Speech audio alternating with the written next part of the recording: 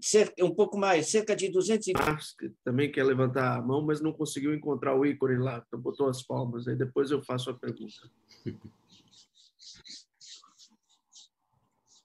Bem, professor, foi uma honra poder ouvi-lo. É, me trouxe uma série de reflexões, coisas que eu tenho amadurecido, e ouvindo a pergunta do Douglas também, já me ajudou até a engatilhar um caminho de um raciocínio para contextualizar minha pergunta.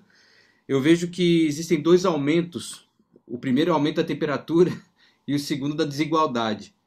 Esse aumento da, da temperatura e da desigualdade vem dentro do processo de industrialização que parte de duas revoluções industriais que a gente viveu, como você bem exemplificou, né? que é a questão da agricultura, a revolução agrícola lá 5 mil anos, 10 mil anos atrás, e a mais moderna que é essa revolução industrial que está na sua terceira revolução, caminhando para uma quarta talvez, né? E dentro dessa revolução industrial, a gente vive uma nova revolução é, social, que é essa revolução digital. Então, o acesso à, à internet, o acesso ao aparelho digital acaba criando uma, uma nova estrutura social, né? Um, essa nova malha ela, ela cria tanto a desigualdade quanto um novo sistema, né? E pelo menos isso dentro daquilo que você apresentou para mim é o que eu consegui entender. E existe pelo que você está me mostrando nessa, nessa construção da desigualdade nesses tempos, uma concentração de renda no setor improdutivo da economia global, né? O, o sistema especulativo, essa financiarização criou uma um setor chupim, né? Eles estão eles estão drenando energia do capital produtivo e o capital produtivo está perdendo a capacidade de, de, produzir o trivial, sabe, o básico. E me parece, dentro daquilo que você, o senhor propôs, é que existe uma resistência de estados nacionais. Eu vejo, pelo menos, a China como um grande bastião dessa defesa do Estado Nacional, né? que é um projeto nacional que acaba encaminhando uma, uma capacidade de industrialização e de, pro, de proposição para a sua própria população, uma, um novo padrão de vida.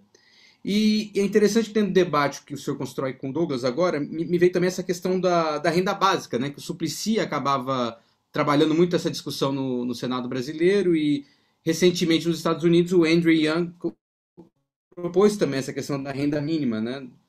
Então o capitalismo se desloca, como o senhor bem falou, e, e vai ganhando novas formas. O Brasil viveu uma desindustrialização. Tem até uma colega nossa aqui que tá, trabalhou uma matéria que saiu hoje no Valor, a Olivia, que é sobre o quanto o Brasil se desindustrializou. Mas se diz que o Brasil, nos próximos 30 anos, vai se tornar 40, o produtor de 40% da comida mundial. E a terra, como a gente sabe no Brasil, ela é concentrada. Então, de novo, aquela, aquele inchaço de um lado, aquela desigualdade sendo construída. E no começo da palestra, o senhor apresenta como o mecanismo é, é econômico e as regras são do direito. Então, mecanismo e regra me parece uma coisa estatal. Então, seria o Estado Nacional o viés para poder tentar reverter esses processos? Desculpa se eu me estendi muito e se eu fiquei confuso. Não, tudo bem.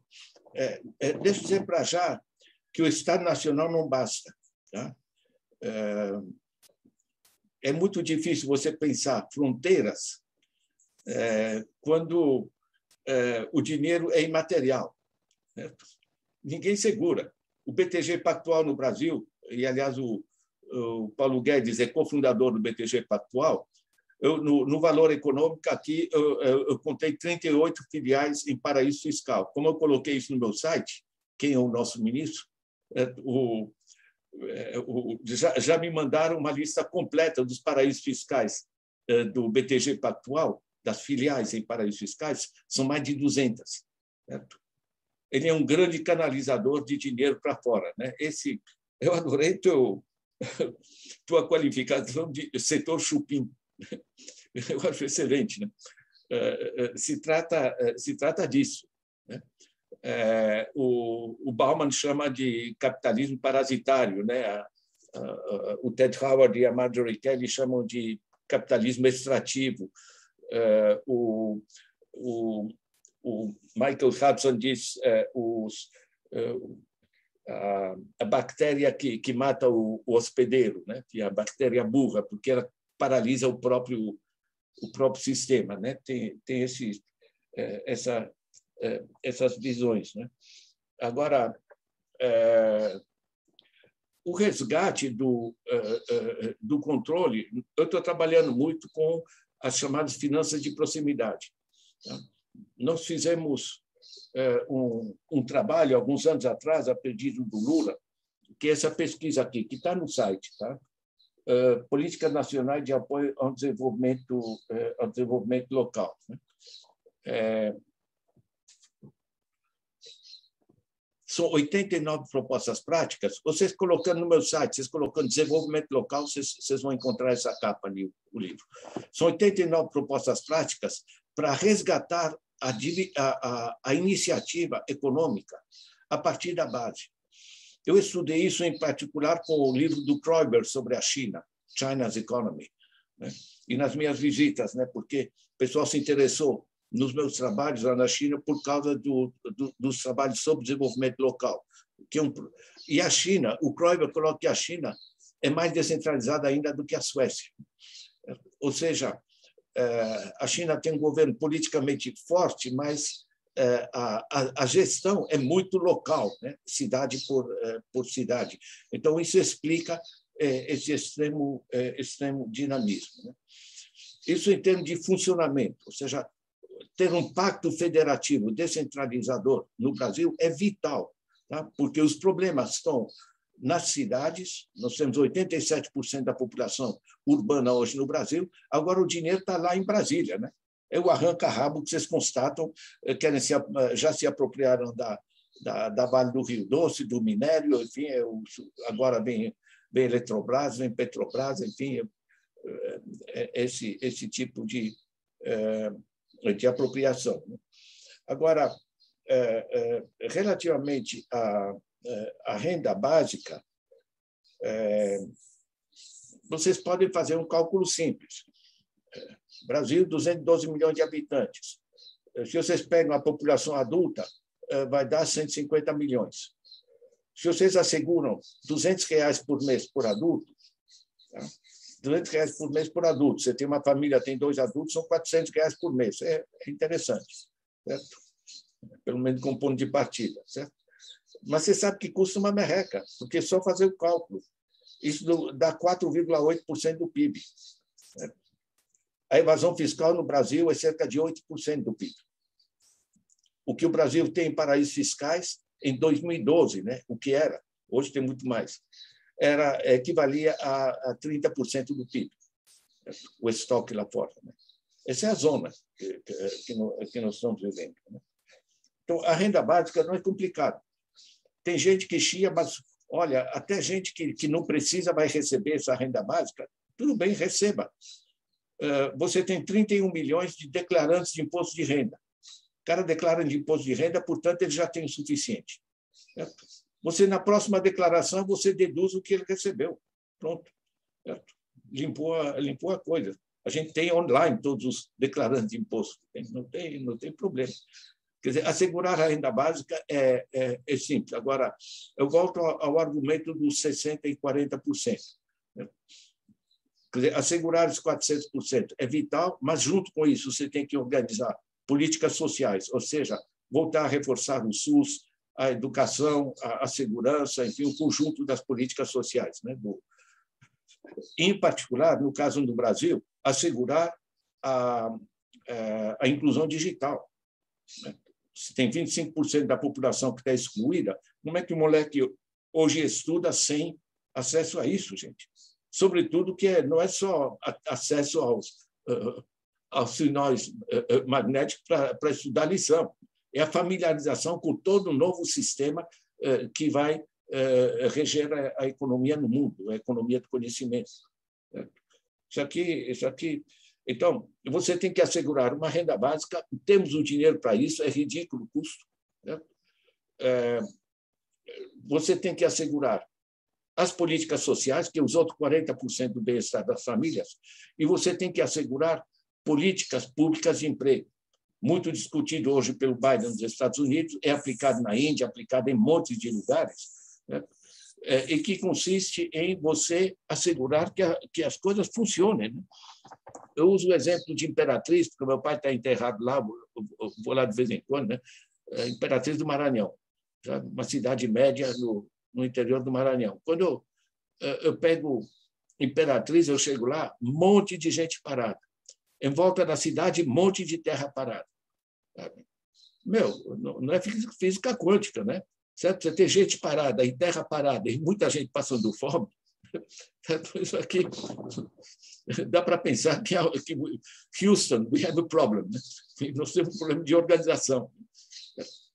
Tantas cidades que eu visitei no mundo, eu viajei bastante, né? organizam, organizam cinturões verdes hortifruti granjeiros. Os alguns quilômetros de, de terra da, do círculo em volta da cidade, de terra rural, né, área rural em volta da cidade, é preciosa. É só você espichar a, o IPTU para cobrir essa área uh, uh, rural próxima, certo? o cara vai ter que pagar IPTU sobre essa terra, ou ele produz ou vende para quem vai produzir. Certo? Agora, se você faz um cinturão verde, hortifruti granjeiro, certo? Você gera alimento fresco para aquela cidade, em vez, como no caso de Imperatriz, fazer coisas de caminhão de São Paulo, que é um negócio surrealista. Né? Você gera também emprego, né? porque as pessoas trabalham, você gera pequena indústria de transformação e acondicionamento dos alimentos, tudo isso gera recursos para o município, gente. Né? Ou seja, há um, uma articulação de políticas sociais, de eh, finanças de proximidade, de formas de organização participativa para que as necessidades sejam representadas no processo de decisão da cidade. Tá? Por isso que eu, eh, que eu volto a esse, a esse documento, né? o desenvolvimento local. Tem um livrinho meu, meu que pega um monte de exemplos internacionais, que é legal, tá? chama O que é Poder Local. Gente, eu estou empurrando livros meus porque uma que é questão de professor, mas segundo, sabe o que é? É que o pessoal, quando eu leio, ou vejo as entrevistas na TV, o pessoal voa lá em cima, porque a taxa disso, a taxa de aquilo, e o déficit, né? e o primário, o secundário, enfim, né? é uma zona. Né? E não é complicado, certo? porque se trata de assegurar que o dinheiro seja útil, certo? que os esforços das pessoas sejam úteis. Eu vou no supermercado ali de Imperatriz, 80% do que está nas gôndolas é trazido de São Paulo, de caminhão, gente. Gastando diesel, gastando petróleo, enfim, gastando asfalto, diabo, certo? Isso aqui, é, é, é, é francamente, é, é, uma zona. Certo? E, nesse sentido, eu volto a essa, esse conceito que eu tenho da economia, é olhar que países, que regiões, que grupos organizam como coisas que funcionam. Certo? E aí eu coloco isso nos livros. Olha, dá para fazer isso, dá para fazer aquilo. Não é complicado. Vamos é lá, Marcos. Adorei o, o setor chupim, vou estar utilizando, viu, Renato? Aproveita o Copyright. Eu passo a palavra ao Marcos aí, que estava com dificuldade de levantar a mão, e depois eu, eu falo. Uh, professor, admiro muito o seu vosso trabalho, é interessante. É, eu trabalho com inclusão social. Eu dou aula na China, já vivo na China há 11 anos, quase 12, e eu trabalho com educação especial. É, hoje no Brasil existem milhares de pessoas com deficiência é, de todas as formas. Já no Brasil, ser preto, pobre, índio já é deficiente é, eu estou falando a nível de Brasil, o, o, que seria o que seria dessas pessoas com a nova revolução tecnológica agora? Quer dizer, o Brasil não está dando chance atualmente para um pobre ou a um indivíduo que que não tenha uma condição social boa, de ter uma educação e poder avançar pelo menos um degrau, o que vai ser deles daqui a cinco, seis anos, que as coisas estão indo muito rápido. É, em 94 foi assinado por 25 países, mas é, a, em Salamanca fizeram a declaração de Salamanca para ajudar pessoas com deficiência ou inclusão social. Quer dizer, de 94 até agora, muita coisa mudou. É, muita coisa mudou sendo que o nosso país parece que regressou. Ele não, não evoluiu nem do ano 2000. Voltamos. Não, não, não progredimos nada. Nem como nós mesmos e a, com os deficientes que agora incluíram também índio, preto, pobre, é, é deficiente também. Quer dizer, ser preto é a deficiência. Ser índio é uma deficiência. Ser uma pessoa com deficiente físico, paraplégico, uma criança com síndrome de Down, é uma pessoa excluída da sociedade. Nem é mais um, um cidadão de terceira. É uma coisa que não tem número. É, o que o senhor acha que vai acontecer daqui a cinco anos com eles? Muito obrigado.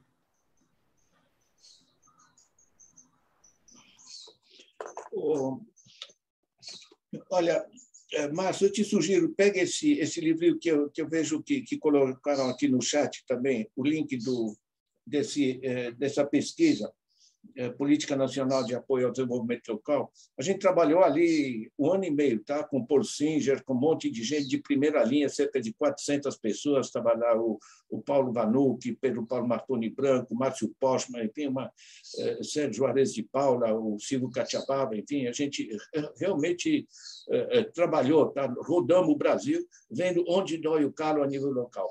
Por que, que eu digo eu volto ao nível local? Porque toda essa parte, Márcio, de políticas sociais, saúde, educação, todo o sistema de serviço social, tudo isso aí é no nível local que funciona. Quer dizer, a partir do nível central tem que assegurar financiamento. Agora, a gestão disso é na, né, na cidade e no bairro, o pessoal sabe quem está fragilizado, quem está precisando. Por exemplo, agora com a pandemia, eu pego aqui em São Paulo, a favela de Heliópolis, a favela de eh, Paraisópolis, por exemplo, que são.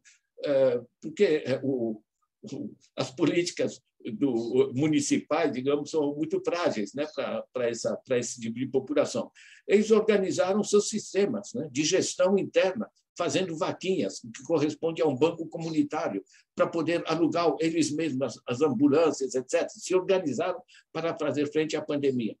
Ou seja, todas essas políticas sociais e, e toda a ligação com, com, populações fragilizadas, isso aí, num conceito é, de é, economia solidária, isso é absolutamente fundamental. E passa por políticas locais integradas. Tá? E aí não tem um, um, só um, um, tipo um departamento do pobre. Tá? Você tem que articular o conjunto das políticas em função dessas necessidades. Né? Eu acompanhei muito, é, claro, as políticas de 2003 a 2013 é, no, no, no Brasil, certo? Que o Banco Mundial chamou de the Golden Decade, a década dourada do, do Brasil. Né? Teve inúmeras iniciativas desse tipo. Tá? E são sistemas interministeriais e intersetoriais. Isso permitiu um avanço absolutamente é, imenso. Né? É...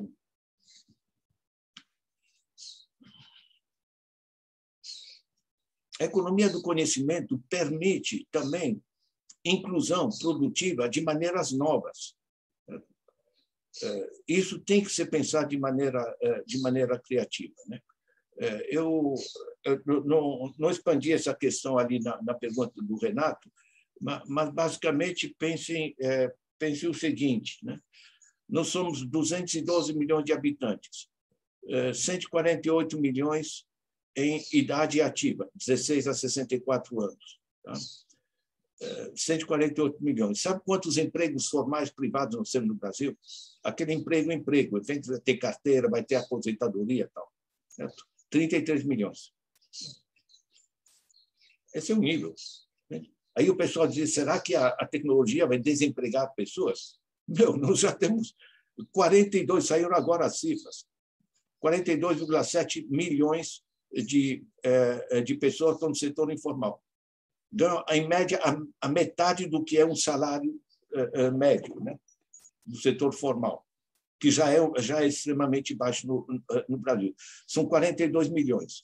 Somem 15 milhões de desempregados, somem 6 milhões de desalentados. Nós temos cerca de 60 milhões de pessoas dramaticamente subutilizadas no país, à procura de fazer uma coisa útil. Eu moro aqui na Lapa, né, a cidade mais rica da América Latina. Aqui eu desço meia dúzia de quarteirões, e tem um monte de gente vendendo qualquer porcaria no meio da rua. Né? Sem falar das pessoas deitadas no meio da rua. Mas isso aqui é, é, é pré-história. Né?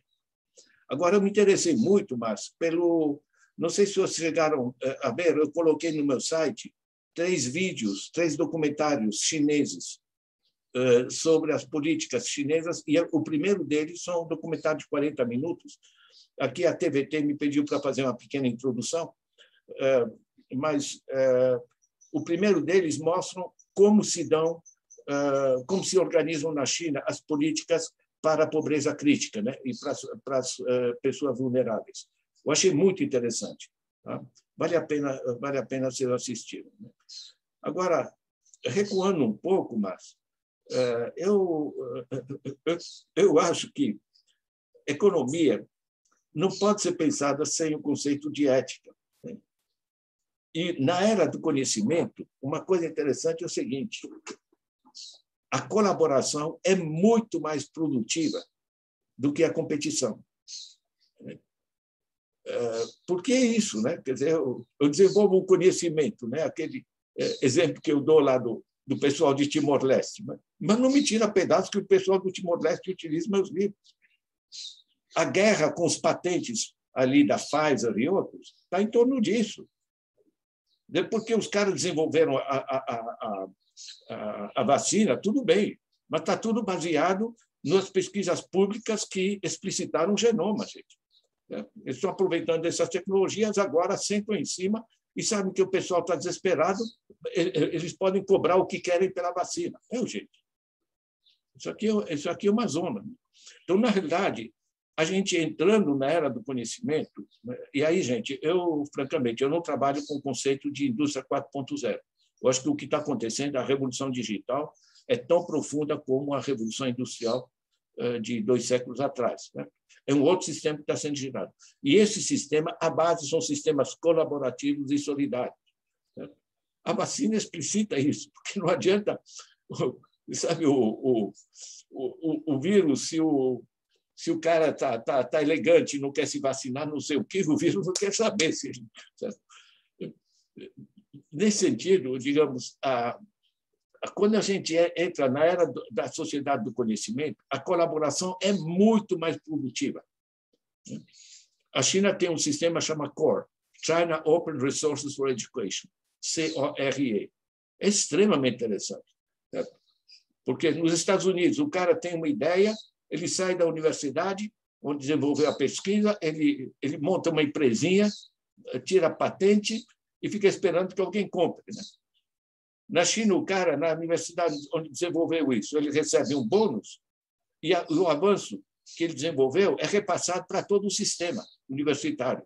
Ou seja, ninguém está reconstruindo o, né, o, reinventando a roda, né?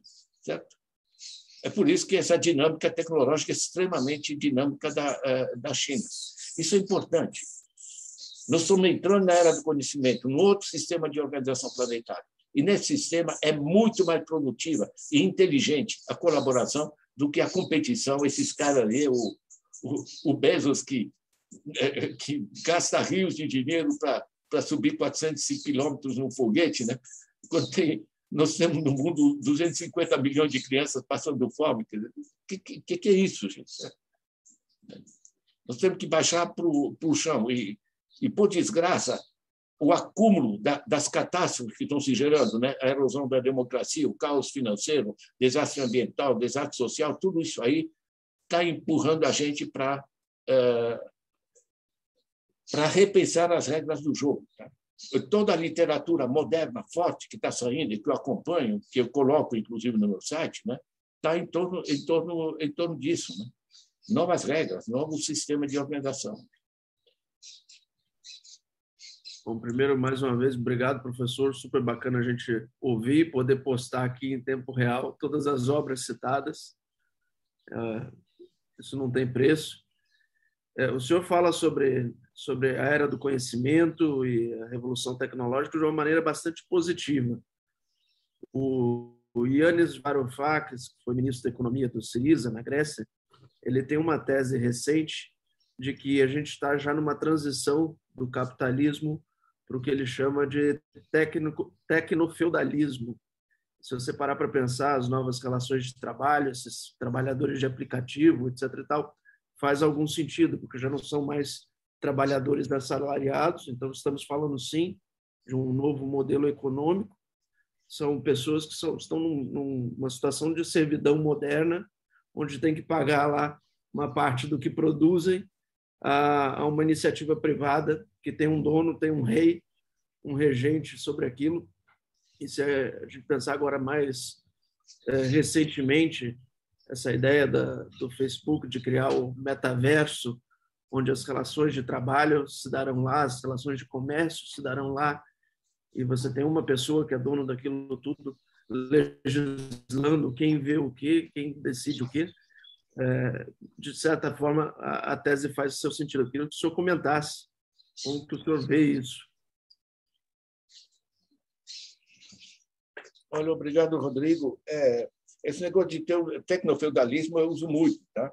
Isso é, é, aparece no, numa série de, é, é, de trabalhos, esse, essa visão. Você pega que, por exemplo, no Brasil, o único setor econômico que funciona é a exportação de bens primários. Né? Por causa da lei Candir, por causa do que desvalorizaram a moeda brasileira, né? Então o cara ganha em dólar. O cara antigamente exportava eh, o equivalente de um dólar, eh, ele recebia dois reais e meio, certo? Em no tempo do, do, Lula, da Dilma, tá? Hoje ele exporta um dólar, ele recebe cinco reais e meio e ainda por cima não paga imposto, entende? Então o, o, o Brasil produz lá, lá para fora, temos 19 milhões de pessoas passando fome, 116 em insegurança alimentar. Certo? Temos cerca de 5 milhões de crianças no Brasil eh, passando fome, certo? esse gigantesco exportador de alimentos. Né? Isso aqui é, é, é simplesmente uma zona. Ou seja, é, só que não é o mesmo colonialismo que a gente tinha antes, né? que a gente exportava café ou que fosse e importava os manufaturados da, da Inglaterra. Certo? Hoje se elevou o nível tecnológico, mas o sistema conhece, continua. Certo? A gente exporta agora o bruto petróleo e importa refinados, enquanto temos as refinarias no Brasil paradas. Né? Isso, isso aqui é simplesmente para negociação, para as negociatas dos intermediários, entende? sem mais uh, inteligência né? desse, desse processo. Né? Isso está mudando. Né? Na, na área do, do trabalho, a gente está, em vez de proletariado, a gente está usando precariado né? como eh, conceito que ajuda a, a sintetizar essa, essa uh, coisa. Nós temos numa, numa, numa transição de dois modelos que esse é, a, é o eixo desse meu livro, Capitalismo se Desloca, tanto abre problemas como oportunidades. O sistema eh, de comunicação ele gera monopólios de demanda, como a gente chama a economia. Por que de demanda? Eh, porque o cara não precisa eh, ele monopolizar. Por que, eu uso o Facebook? né? com toda a crítica que eu tenho ao Zuckerberg. Né? Porque eu tenho que utilizar o que os outros usam. Senão, não sou lido, não vou, não vou entrar no. Né? Ou seja, é, isso é o caso do Google, é o caso do Facebook, do, do, do é, enfim, do, do, conjunto chamado GAFAM, né? Que a gente sente, inclusive, na China, né? com, com Baidu, Alibaba, Tencent, enfim, esse, esse, esse núcleo, porque isso é natural, você tem que usar o que os outros usam.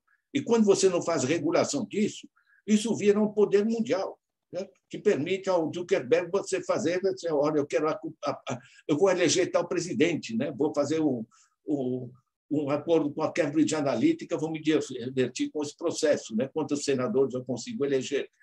Enfim, esse, esse é o grau. Quer dizer, na realidade, a economia do conhecimento permite centralizações dramáticas, né? sistema de monopólio o Facebook é acessado por eh, bilhões de pessoas. Né? Por que, que eh, ele eh, embolsa fortunas absolutamente gigantescas? Certo? O, o, estamos falando de trilhões de dólares. Certo? a gente, o Facebook é de graça. O dinheiro não aparece sozinho. Tá? O Facebook é de graça. Mas como fazer publicidade na televisão não basta, você tem que entrar no Facebook. Empresas efetivamente produtoras usam publicidade do Facebook, que cobram os olhos da cara, né? porque você dá visibilidade. é, o, é, para as empresas produtoras, né, esse custo de publicidade é um custo. Eles incorporam no preço de venda. Quem paga o, o produto na sua venda? Cada um de nós. Certo? Ou seja, são bilhões de pessoas drenadas, né, contribuindo para a publicidade que vai para o Facebook, que vai para o bolso do, do, do Mark Zuckerberg do, e dos, dos, seus, dos seus acionistas. Certo? A, a, a fortuna número um uh, do, dos bilionários no, no Brasil uh, é o cara que é acionista ali do, do, do Zuckerberg. Certo? É, é, é um negócio. É o Eduardo, o Eduardo Saberin. Né? Estão falando em, em mais de 100 bilhões de, é, de, é, de reais. Né? Então, é, na realidade, você tem dois eixos. Ao mesmo tempo, o fato da gente poder gerar sistemas colaborativos, né? como esses, por exemplo, de eu poder acessar, né, através do DOI, acessar o, o, um conjunto de produção científica no planeta. Tá? tem uma russa muito famosa né, que está fazendo isso para o planeta todo. Né? Eu estou sempre no limite da legalidade, digamos, porque eu, eu na dúvida eu autorizo e, e, e dissemino. Certo? Quer dizer, quando o conhecimento é o principal fator de produção, abre-se uma gigantesca oportunidade de você criar um sistema muito mais equilibrado, muito mais democrático. Você pode assegurar o acesso a tecnologias simples importantes para qualquer pequeno agricultor do planeta, sem custos adicionais. Né? É uma merreca o investimento necessário para organizar a inclusão digital de todo o planeta. Os satélites estão ali, enfim, é só, só sair dos oligopólios tipo Claro, Vivo, TIM, todas essas coisas. Né? Enfim, é, abre-se as oportunidades e, ao mesmo tempo, há uma guerra de reforçar patentes, controle sobre conhecimento, a guerra do, do, das, da, do Facebook, do Alphabet, etc., né? porque é, é, dão a eles um poder de monopólio imenso. Essa é a tensão. Certo? Para mim, a, a tensão, Rodrigo, que se dava no, nas análises de Marx no século XIX, né, entre apropriação privada dos meios de produção certo? E, a, e a caráter social da produção, certo? hoje se torna mais tenso ainda. Certo? Ninguém elegeu o Zuckerberg, certo? nem o Bezos, nem o Buffett, nem, nem, nem, nenhum desses caras, certo? que estão se entupindo de dinheiro sem produzir porra nenhuma. Né? Então, esse negócio está é, é, é, é, é tá gerando tensões, indignações que são planetárias. Né? Piketty uma belíssima leitura, o Stig, belíssima leitura, Marjorie Kelly, é, Mariana Mazzucato, Kate Travers, está né? tudo no meu site aí na, na resenha. Está se gerando essa discussão é planetária hoje. Tá? Eu contribuo com, com minha dimensão, digamos, no, né, nesse, nesse, nesse processo. Né? Na verdade, o essencial, o essencial é essa tensão, ao mesmo tempo oportunidade e ao mesmo tempo que esses caras estão querendo, sabe, estão é, enriquecendo de uma maneira fenomenal e aprenderam, inclusive, a financiar as, a, as eleições. Sobre o Facebook ser de graça, tem uma frase que eu gosto bastante, que quando o serviço é de graça, o produto é você. Exatamente. É bem o caso. Eu passo a pergunta agora para o André. Bom dia para os camaradas que estão aqui no Brasil, boa noite, pessoal que está na China. É... Meu nome é André, sou coordenador da Caixa de Ferramentas, né? plataforma de formação política online, que trabalha com cursos via Zoom ou gravados em estúdio, né? e a gente também tem um blog aí informativo com os temas relacionados aos cursos. É... Que eu queria colocar é uma questão, né? para a gente pensar que eu vejo que o Brasil, a gente está numa fase anterior ao que a China se encontra agora, bem anterior, que é a gente resgatar um caminho de superação das nossas duas contradições, né? Quando quando o Lai falou, né, que as duas principais contradições que a China tinha que enfrentar para se modernizar era a contradição interna né, da, da, desigualdade e a contradição externa da desigualdade tecnológica em relação às outras nações. Eu vejo que o Brasil está tá, assim, sem, sem resolver isso, a gente não, não consegue implantar nada do que a gente falou até agora. Né?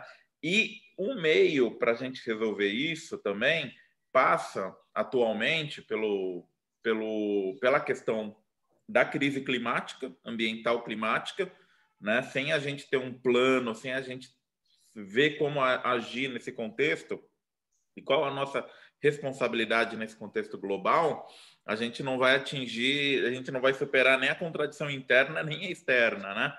E também, né, junto com isso, a questão da nova economia digital. A gente, se a gente pegar em, vamos pegar infraestrutura, não estou nem falando dos aplicativos, das empresas, tal. Vamos pegar a infraestrutura da internet. A, a, a, infraestrutura física da internet é o retrato mais claro de como o colonialismo está se manifestando de forma 2.0. A gente não tem um cabo de fibra ótica ligando o Brasil à África, por exemplo. A gente agora a gente terminou um cabo de fibra ótica até Portugal para não passar por Miami, Nova York, e foi algo que a Dilma começou em 2013 e terminou só agora, né? Se for nesse ritmo, estamos lascados, né? Cada cabo que a gente for fazer vai demorar 10 anos, a gente não vai superar nunca também essa questão do atraso tecnológico informático, é, da nossa soberania de dados, né? Os dados são a commodities aí, são uma das grandes commodities do século 21, então a gente tem que ter o controle, inclusive físico, assim eu vejo, né? E aí eu acho que a China é um exemplo. E no final, tudo isso daí me, me parece, né, me, me, é bem claro, que é um obstáculo político. Por que, que a China conseguiu né, se reorganizar é, em 49, superar o neocolonialismo, e aí a partir de 78 começou o período de reforma e abertura, e agora a gente está vendo a consolidação de um país moderno, socialista moderno, né?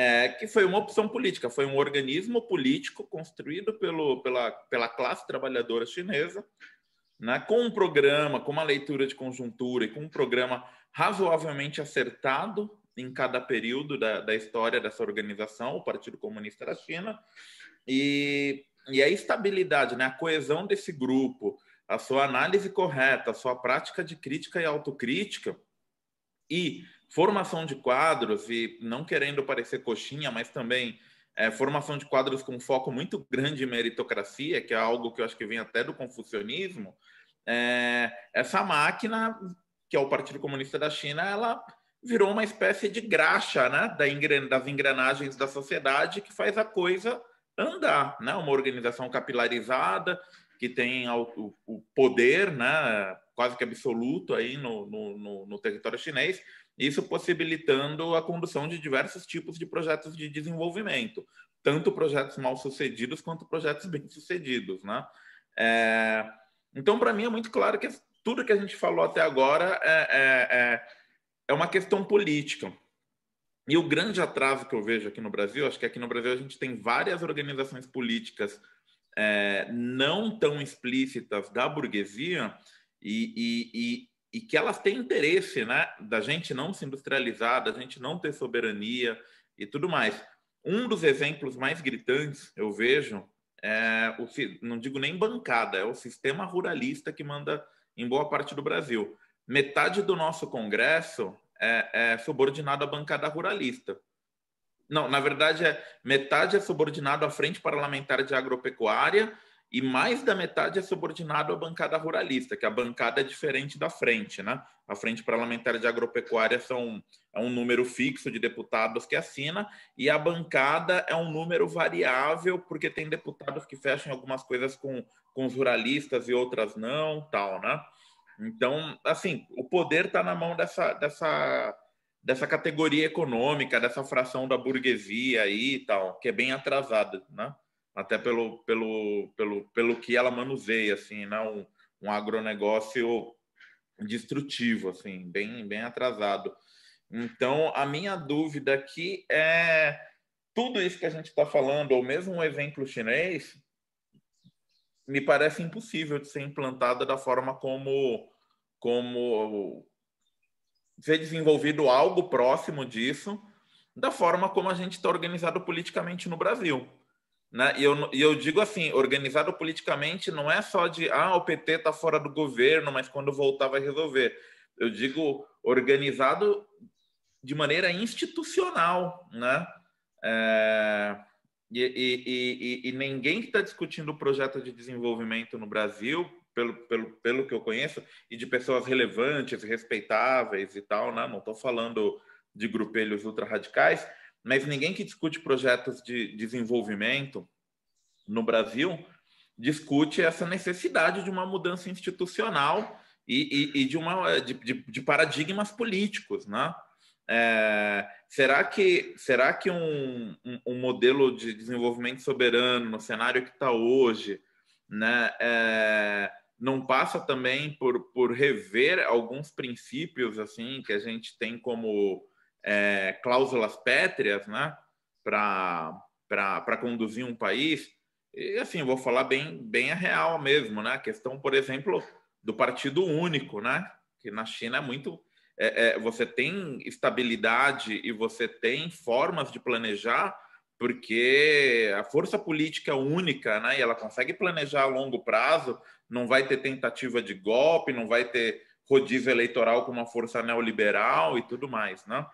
Então, eu acho que tem algumas coisas que a gente precisaria estar discutindo mais do âmbito político, e isso se cruza com o econômico, porque aí vem a dúvida, né?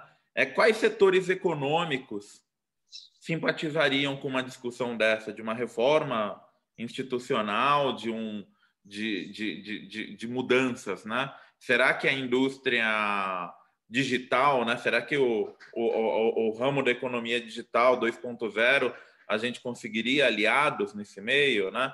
Será que, por exemplo, o pessoal da indústria verde, os capitalistas mesmo, né? É, a gente não conseguiria é, uma base social, uma base econômica para um projeto de, de, de refundar o país, porque pode parecer utópico o que eu estou falando, mas eu não consigo imaginar o Brasil desenvolvendo política de desenvolvimento local, é, política de indústria digital e não sei, eu não consigo ver o Brasil fazer nada disso, biotecnologia tal, tudo isso que a gente sabe que é possível e necessário, eu não consigo ver a gente fazendo isso de forma estável, a médio e longo prazo, com a, com a institucionalidade que a gente tem e com a estratégia política que as forças progressistas aqui no Brasil têm, né?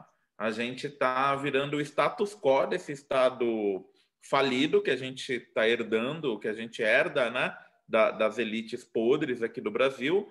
E, e, e, hoje em dia você vai ver é, é, a esquerda é a que mais defende o status quo e respeita, né? Se a gente for ver também, é a que mais defende é a que mais respeita.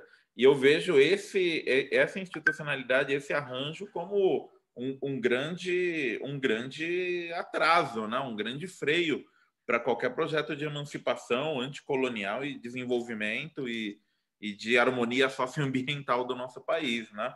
Então, queria ouvir o que o professor teria para falar sobre, sobre essa questão, né? Porque, muito, às vezes, eu falo com um, muita, muitos sinófilos, né? Muitas pessoas entusiastas da China, e uma declaração comum, quando a gente fica falando do processo de desenvolvimento chinês e de todas essas maravilhas, né? Né? Em algum momento alguém sempre fala, ah, mas na China teve uma revolução, por isso que eles conseguem fazer isso, né? Tipo, a, a, a pedra fundamental da atual República Chinesa foi um processo revolucionário que mudou todo o arranjo de poder e possibilitou desenvolvimento, é, projetos de desenvolvimento heterodoxos. Né? Então, queria ouvir um comentário sobre essa questão, essa, essa relação entre econômico e o político, né? E essas contradições grandes que a gente tem que resolver para para voltar a falar que a gente é um país de verdade, não um agrupamento de gente administrada por um fascista, né? É. Deixa eu comentar um, é, um pouco, André. É, eu estava numa numa esquina em Joanesburgo é, com Jimena de la Barra, que tinha sido assessora do Salvador Allende, e a gente estava os dois num, num programa ali da, eh, da África do Sul, é, e ela, ela me disse uma coisa assim, a gente parado na esquina esperando virar o sinal, ela me disse, Ladislau, em nenhum momento o mundo vai parar de ser como é para passar a, a funcionar de outra maneira. É, isso é, é, importante no sentido seguinte: eu acho que é, todos nós temos que aproveitar qualquer brecha de transformação positiva que apareça.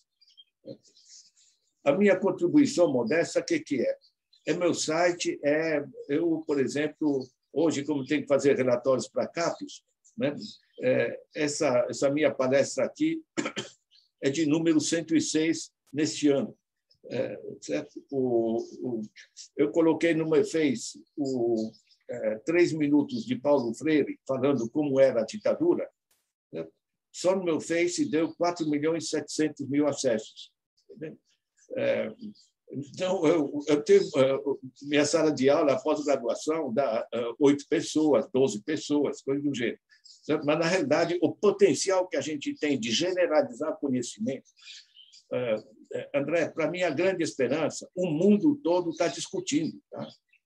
Hoje não fica só aqui a PUC, ali a UFRJ no Rio de Janeiro, porque tem a, fala daqui a pouco, enfim, tem é, o, o pessoal do, do Pará, o pessoal. Não, está todo mundo discutindo. Né? Essa, essa, essa nossa reunião são gente de diversos países, de diversos lugares, né? estão pensando, colocando problemas-chave. Né? É, não é só slogan, realmente entender, entender quais são as oportunidades. Então, para mim, essa essa construção colaborativa do conhecimento das compreensões, ela está ela tá avançando, tá? Veja a indignação mundial com o negócio da, da mudança climática. Glasgow não deu, não deu uh, grande coisa, tudo bem, mas na realidade conforme a gente vai afundando numa crise sistêmica planetária, né, que é ao mesmo tempo ambiental, social, financeira, política tal, né, se abre espaço para transformações mais profundas. Né? Como, como, como vai se dar? Eu, minha contribuição é sistematizar uma compreensão da, das, das contradições. Né? A China nos traz muito com seu conceito de é, prosperidade compartilhada, né? o shared prosperity, nos traz uma visão. Né? Você tem os trabalhos do Alperovitz, né? a apropriação indébita, né?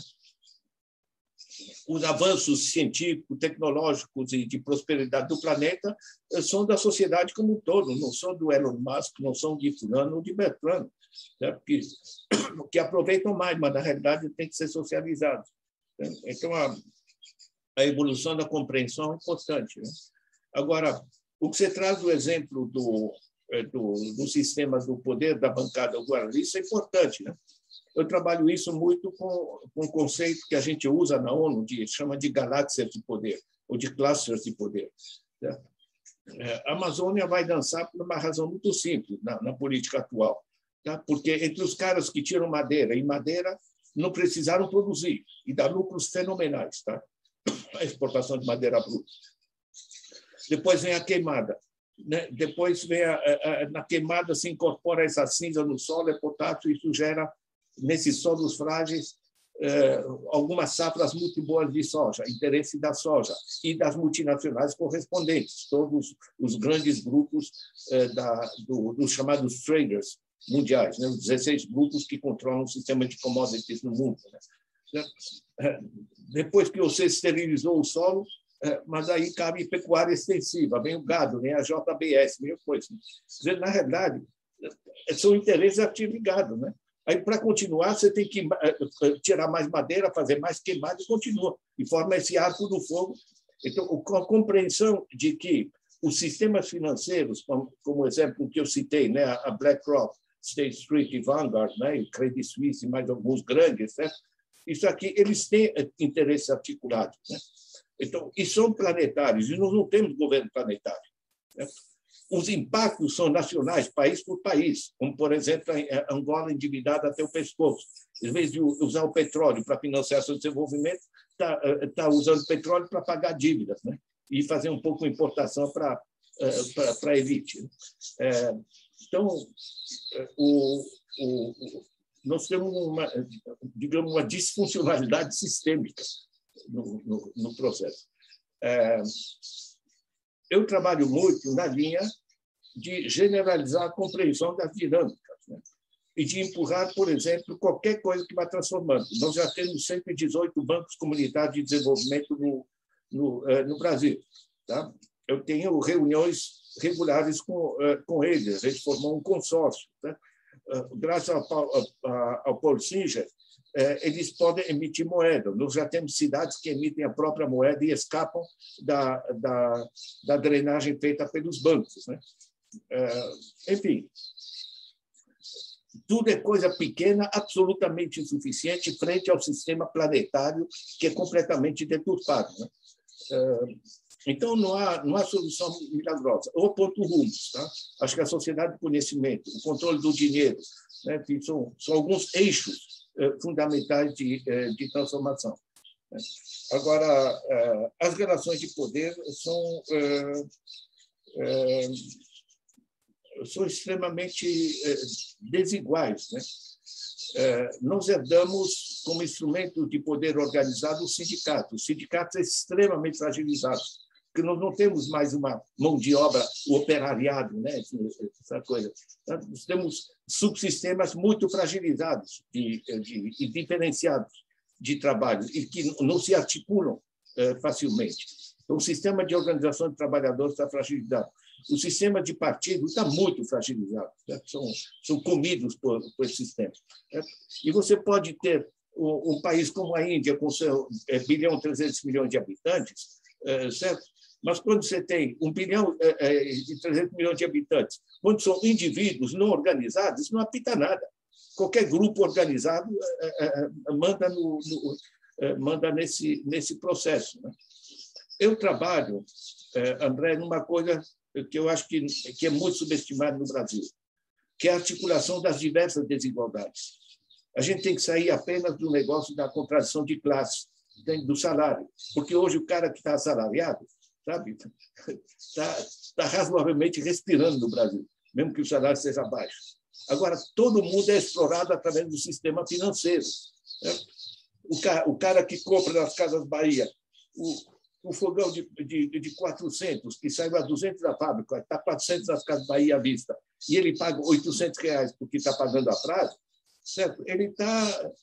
Nós temos 62 milhões de pessoas atoladas em dívida, dos quais 25% estão em bancarrota pessoal. Nós temos a humilhação dos negros, nós temos a desigualdade da mulher, nós temos o, o, o sistema eh, dramático que é desses entregadores da vida, enfim, esses motoqueiros, bicicleteiros, etc, etc. Então, na realidade, eu trabalho, de certa maneira, com a convergência das humilhações que tem nesse país. Entende? é visão de uma proposta humanitária radical, né, de você agrupar essas desigualdades no plural, que se dão de diversas formas. Né? Pega os indígenas, né? pega eh, desequilíbrios regionais, pega os caras das periferias de São Paulo. Né? Os caras estão muito fortes, e a nova geração, nessas favelas, olha, vem com. Uh, vem tudo da vida, entende? Quando o negócio está e está sabendo, quer dizer, qualquer moleque de periferia tem a mesma inteligência que esse é, filhinho de gente rica que vai mandar para Harvard. E você tem 33 milhões de empregos formais privados no país. Nós temos no Brasil 31, 31 dos jovens estão desempregados. 31% dos jovens estão desempregados. A pesquisa saiu recentemente na Folha, 47% dos jovens do país querem deixar o Brasil. Meu, eu acho que nós somos maduros para propostas mais radicais e essa convergência das diversas desigualdades, muito além, incluindo, mas muito além da, da, da diferença de classe e da exploração diretamente econômica, acho que é esse, esse tipo de, de uma proposta civilizatória é que, é, é que a gente é, é importante a gente colocar na, é, é na mesa. Né? Agora, quisera eu ser mais otimista. Né? eu estava dando uma, uma entrevista junto com o Ignacio Sachs, que é um dos, dos criadores do conceito de sustentabilidade. Né? E, uma entrevista na TV, daí a moça estava dizendo, mas isso é uma visão pessimista. Né? Aí eu, eu gosto muito da frase do, do Ignacio Sachs, que diz, minha amiga, um pessimista é um otimista bem informado. Agora, o meu papel nisso aí é, é passar ferramentas para as pessoas, entender, dar, dar base informada para a nossa, para nossa indignação. Né? Gente, eu, eu, tenho que cuidar da vida, viu? Não, não, é, não, não é por coisa, mas é o que eu tenho é, em seguida. É, eu ando na moda, né, ultimamente. Esses livros me deram um empurrãozinho, né? mas eu queria ver se a gente é, ia para, para ir, ir, encerrando nesse, esse, nesse processo. Não sei é, o que estava previsto, Granada. Era por aí mesmo, que a gente durasse no máximo duas horas. Tem mais uma pergunta que é do Rafael, ele é jornalista, fica lá em Pequim. Havendo tempo, senão fica o convite aí para que o senhor retorne mais vezes na impossibilidade. Não, tudo, bem. tudo bem, vamos lá, Rafael. Olá. Bom, a minha pergunta é o seguinte: eu já participei de muitos eventos da área de sustentabilidade e eu reparo que muita gente que atua nessa área, especialmente ativistas de ONGs e tal, tem uma visão de que o esgotamento de recursos do planeta e tudo mais estão mostrando que existe um limite do modelo econômico, que né, se está buscando uma, um, crescimento econômico é, que poderia ser assim crescer indefinidamente, quando na verdade o planeta tem recursos finitos, tem uma população finita, é, enfim. E é, isso me, me, fez pensar na questão da conquista do espaço, que hoje você vê cada vez mais empresas privadas tentando sair da Terra, né? Parece que isso, isso talvez poderia ser interpretado como uma busca por um crescimento do mercado. E assistindo aí a sua a sua apresentação, eu me pensei, eu pensei também numa questão: será que essa é, migração da, da atividade econômica para a internet, né? Cada vez mais a gente tem é, coisas não tangíveis que se tornam produtos, né? Que, que existem somente no, no, mundo virtual. E é o mesmo, própria, o próprio dinheiro vai cada vez mais se tornando virtual, não tem mais dinheiro de papel, é tudo eletrônico. E, ao mesmo tempo, também é, a financiarização, o rentismo né, da economia, cada vez mais se, investe na especulação ao invés de produção, isso seriam sinais de um esgotamento do nosso modelo econômico? E por que a gente é, é tão difícil a gente é, ver uma mudança, ver assim um modelo econômico para um mundo sustentável, para um mundo diferente, né? Por que, que a gente estando aí à beira de uma catástrofe ambiental, social, enfim, todos esses problemas que a gente vê cada vez mais se agravando, como é que isso não está gerando aí um, um novo modelo? O que é que falta para isso acontecer? Olha, Rafael, é... o que falta para acontecer é que o... a gente, quando pensa capitalismo, ainda pensa não, que está produzindo, que vai gerar emprego, que nossos filhos vão ter oportunidade, coisa do gênero. Agora, claramente, isso está se esgotando. Né? Em termos econômicos, o planeta está parado. O único que está avançando é a China, mas alguns, enfim. É, a partir de que ponto de desagregação gera-se uma reação, uma capacidade de transformação política, em ponto de interrogação, mas que convence muitos cientistas, no sentido seguinte: uh, nós temos a barbárie da Segunda Guerra Mundial. É a Segunda Guerra Mundial que permitiu que se fizesse a reunião de Bretton Woods, que se constituísse um, um órgão regulador mundial financeiro, que se constituísse a Organização das Nações Unidas, ou seja, a pancada foi tão forte né, que, que criou-se a força política para dizer: chega, gente, temos que organizar o negócio. Você chega em Glasgow, certo? nessas reuniões agora, eu tive nas anteriores, na Rio Mais 20, tive na, na organização da da, da, grande cúpula mundial do meio ambiente na, na, no Rio em 1992, participei, organizei uma parte dela, certo? É, meu, isso aí é como dizem, just talk, né? Estamos falando, falando, falando, né? não acontecendo. A partir de que momento a ruptura gera uma reação sistêmica? Chega, basta, temos que organizar. Né?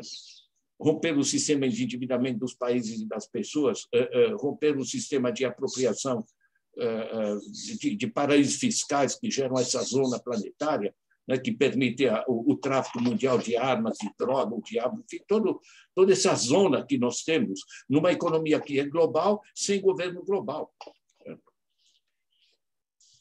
São, é, é, são desafios, são desafios é, sistêmicos. Né?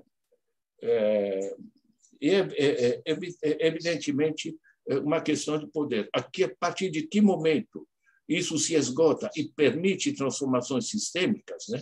Uma outra forma de organização, é, isso é ponto de interrogação. Agora, o que fazer nessa transformação é bastante claro, tá? Assegurar uma renda básica para todo mundo. Temos recursos para isso. Ou seja, não precisa ter, ter gente passando fome. Gente. Isso aqui é pré-história, né? isso aqui é, é barbárie. Né? Certo? Nós, nós temos que organizar políticas sociais generalizadas. Né? Não pode ter uma criança não ter acesso ao médico. Certo? E temos recursos para isso, temos médico no mundo, temos as tecnologias, temos, temos, eh, temos tudo. Temos que ter políticas públicas de emprego, porque como faz a China, como faz a Índia, como fazem tantos outros. Né? Dizer, não dá para ficar esperar que o mercado resolva quando nós temos no Brasil 40, eh, quase 43 milhões de pessoas no setor informal, enfim, 60 milhões de pessoas subutilizadas. O setor informal nos países do, do, do norte da África é 70% da população. Vai explicar para um moleque que vai se arriscar no Mediterrâneo, você vai morrer, moleque. Ele diz, foda-se, vou morrer. Né? Sabe que ter, ter 20, 22 anos de perspectiva zero? O negócio está implodindo. Né?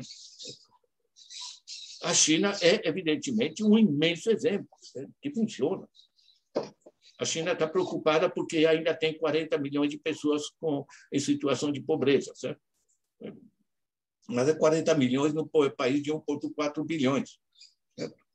No mundo, nós temos praticamente é, um, um bilhão de pessoas passando fome hoje.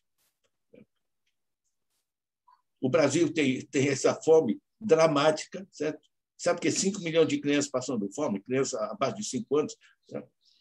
quando o Brasil produz só de grãos 3,2 kg por pessoa por dia, sem falar de batata, de tubérculos, o diabo. Enfim, é, é, é, você sabe o que é? O, é, não tenho o mapa da mina. O mapa está ali, né? chama ODS, Desenvolvimento, Objetivo de Desenvolvimento Sustentável. 17 objetivos, 169 metas, 231 indicadores, sabemos que deve ser feito, foi aprovado pelos governos, né? é, e simplesmente as coisas não acontecem, porque mais importante que isso é o interesse, por exemplo, da BlackRock, ou do Bezos, ou do Buffett, ou do Credit Suisse. Não sei se vocês viram em Glasgow, eh, um conjunto de grandes corporações internacionais disseram que elas são dispostas a ajudar com 133 trilhões de dólares, né? que é mais do que o PIB mundial. estão fazendo piada com a coisa. Né? Esse é o nível. É ponto de interrogação. O último capítulo do meu livro, A Era do Capital Improdutivo, eh, ele traz eh, 13 eixos propositivos. Não são grandes sonhos da grande revolução, certo? Mas são 13 eixos que funcionam em diversos países, coisas que já funcionam e que estão demonstradas em sua funcionalidade e que podem ser generalizadas. É um negócio legal que eu desenvolvi junto com o Ignacio Sachs e com o Carlos Lopes, que é um africano uh, brilhante, que hoje está no, no Cape Town e que foi subsecretário-geral da ONU. É, as propostas eh, estão aí. Gostaria muito que você se interessasse pelo texto que chama Economia Desgovernada, eh, que, que eu fiz a pedido do pessoal aí do, da Economia de Francisco, né, do, Papa, do Papa Francisco. Está publicado, inclusive, na universidade deles, ali do, do Vaticano. É, ajuda muito, tá? é um texto legal. Eu queria é, sugerir a vocês muito fortemente, peguem os meus textos, é um ferramental, tá? E, e a partir dos vídeos, dos textos, vocês podem, vocês se tornarem é, multiplicadores, né? Porque eu acho que se tem uma coisa que, que transforma, é, são ideias, né? A gente não, não tem que é, subestimar o poder de, digamos, da, de você esclarecer as coisas. Gente, eu queria, queria agradecer a vocês. Eu tenho que cuidar da vida, porque tem, tem, tem muita coisa aqui no. Aliás, eu chego no fim do ano letivo, gente, no fim do ano universitário, muito, muito cansado. Né? Mas eu acho tão simpático, enfim, gente de diversas áreas, enfim, a gente, esse, esse contexto da, da China. E a China mostra claramente que é só organizar minimamente, com o mínimo de racionalidade dos recursos, e dá para dá assegurar enfim, o bem-estar de todo mundo.